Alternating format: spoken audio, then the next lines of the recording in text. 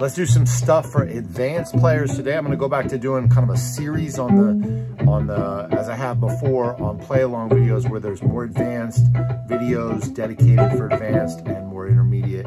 This is gonna be a little more advanced. Um, if you already don't already know about the channel, uh, you know, I'm here to give you tools to help you become a more consistent player, to know when to play, how to play, what to play, feel happier, more confident in your music. So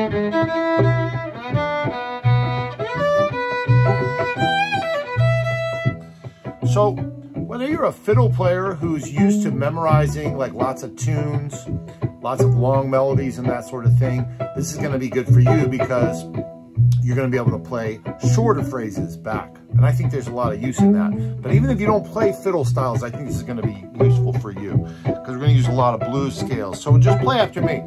We're in a groove on E here. Uh,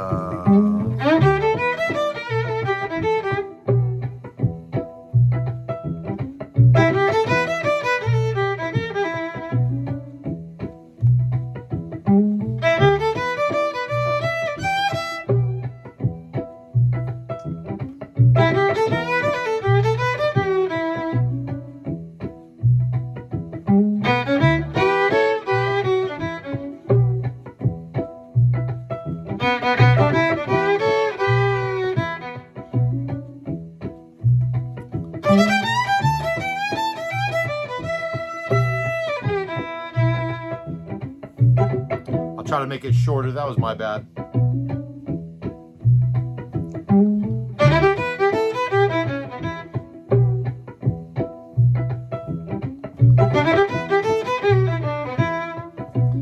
I changed that from the C sharp and the D.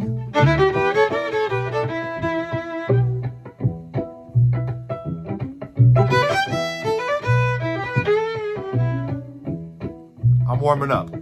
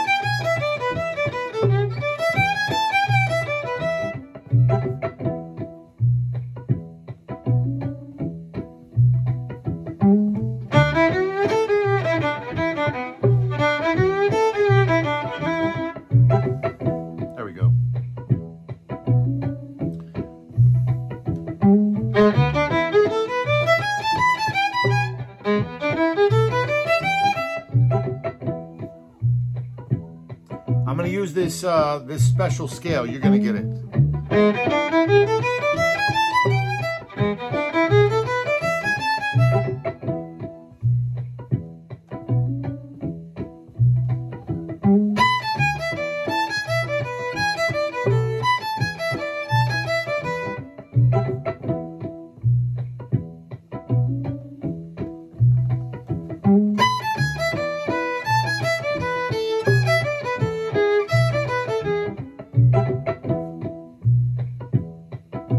Dialing it in. You're gonna get this though.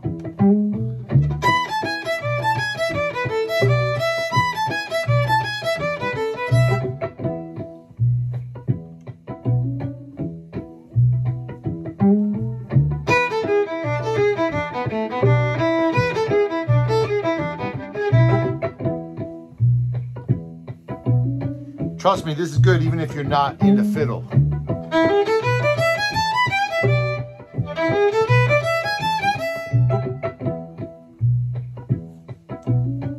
Even if you want to do jazz blues.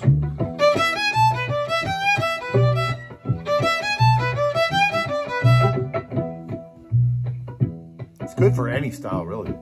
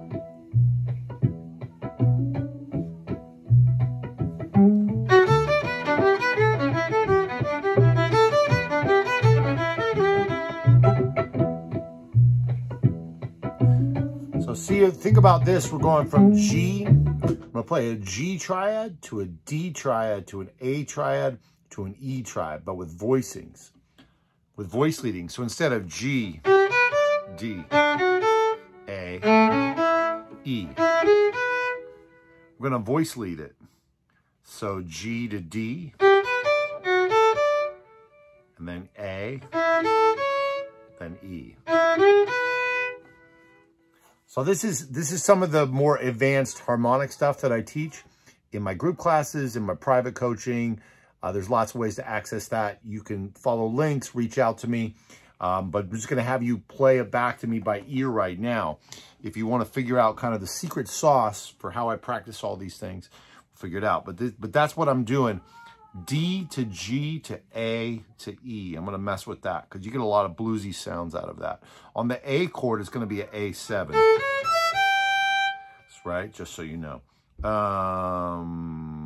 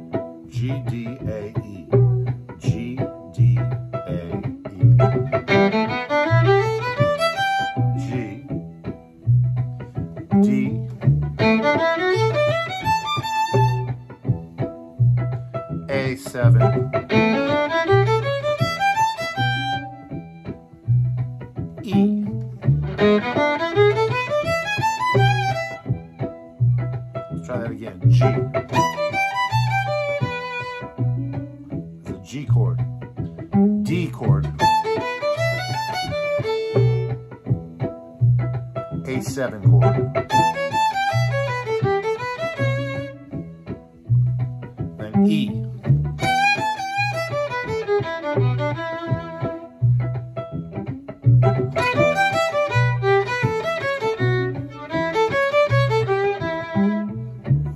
So I'm just kind of mixing and matching. G, D, A, E. Let's go back to this.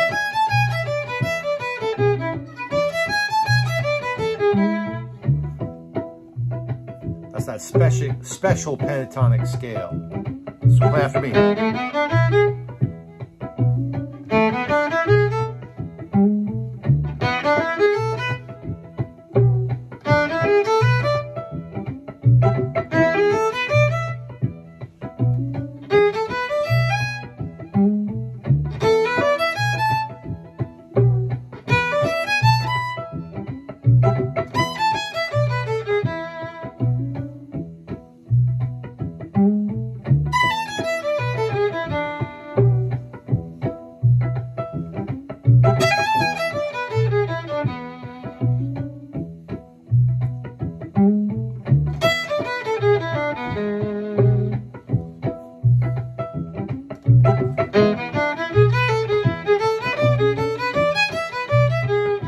I'm gonna let you trade with me, but I'm just gonna use that scale that I just showed you.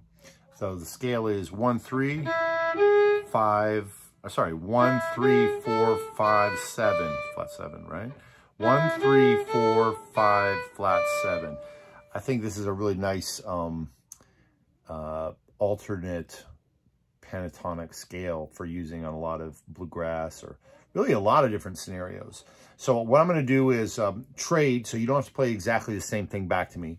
You can play your own lines back to me, but I'm basically going to try to use that scale for the majority of what I'm doing. Now, there's a lot of other scales that I can use, obviously, but I'm just looking at a couple different approaches in this video today. Um, and there's a couple other videos down here that you can find in the Fiddle Styles playlist or in um, where I'm exploring jazz and other different applications, but still um, covering some of these similar concepts. And that's the thing about if you work with me uh, in some of my coaching programs or check out some of my courses, that's the thing is that I'm covering concepts that apply across a, a, a more of a variety of styles. So even though I'm not like the most authentic fiddle player, like that's not my main, I don't do one style. I like a lot of different styles and I like the challenge of trying to be musical across many, uh, across the spectrum of styles and situations. And that's what I teach my students to do. So anyway, we're gonna we're gonna end with this, and then after this, I'm gonna let the the groove roll for you. Um, and yeah, we'll take it from there. So we're trading. You play back whatever you want. We're just gonna mainly I'm gonna use this uh, this scale, but I might go into some other sounds too. Uh...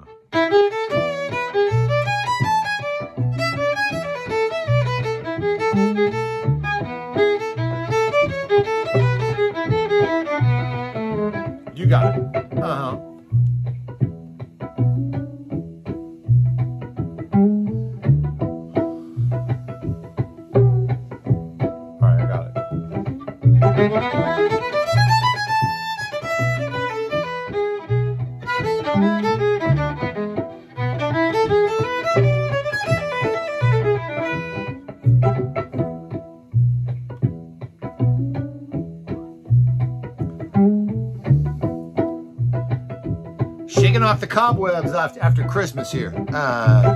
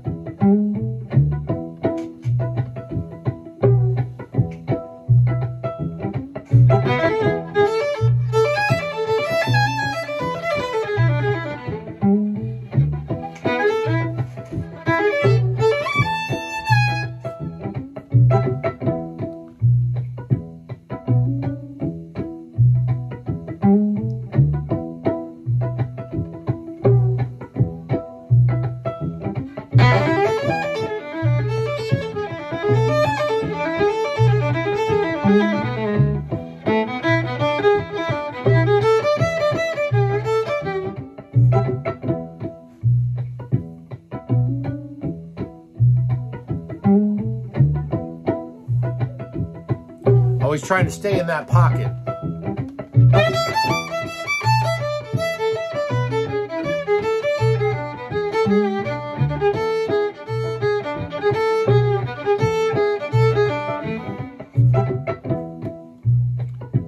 Try to play within your ability to still keep the groove happening. It's really tricky to create that restraint and that discipline for, for ourselves.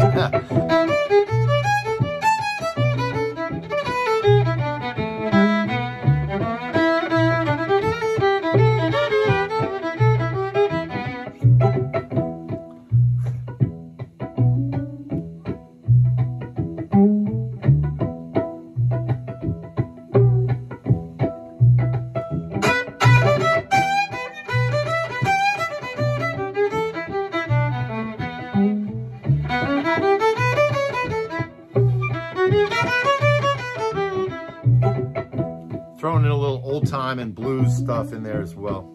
We're trying. Like I said, I'm just get, getting these cobwebs off.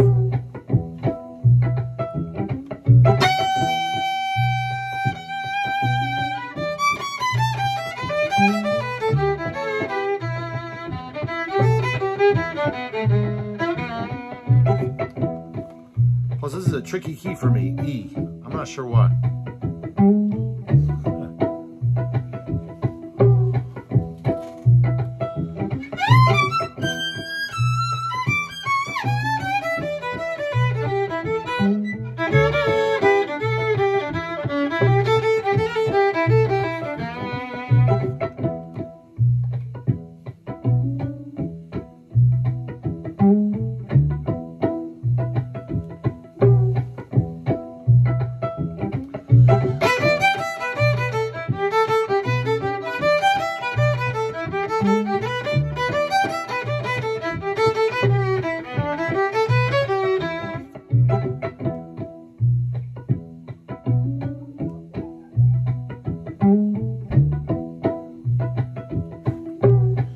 Right, so what I'm going to do, I'm going to let this roll out for you. Just let the loop go so you can try some things uh, related to any of the concepts I showed you or just do whatever you want. Um, my recommendation is that you record yourself. When you're playing along with this, set up another device, record yourself, and then listen back to get feedback and be really detached as you do that. Uh, again, this is a big part of what I help people with is um, helping you to practice, get faster gains, getting processes for healthy self-assessment um, so you can become a more confident, consistent musician. Check out the links before reach out to me. Until the next video, happy practicing. You got it. One, two, ready, go.